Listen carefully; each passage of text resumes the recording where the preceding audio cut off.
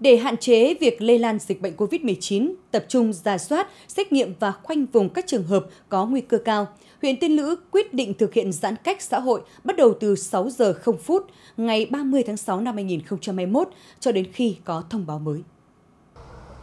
Ngoài các khu vực đã phong tỏa trước đó, các địa phương còn lại của huyện Tiên Lữ tiếp tục thực hiện tăng cường các biện pháp phòng chống dịch COVID-19, đồng thời thực hiện giãn cách xã hội. Theo đó, không tập trung quá 10 người và giữ khoảng cách tối thiểu 2 mét ngoài công sở và các địa điểm công cộng. Người dân thực hiện nghiêm yêu cầu 5K của Bộ Y tế và hạn chế di chuyển, chỉ di chuyển trong trường hợp thật sự cần thiết. Khi ra khỏi địa bàn phải thông báo với trưởng thôn, tổ dân phố nơi cư trú. Khi trở về phải khai báo y tế, theo dõi sức khỏe và hạn chế tiếp xúc.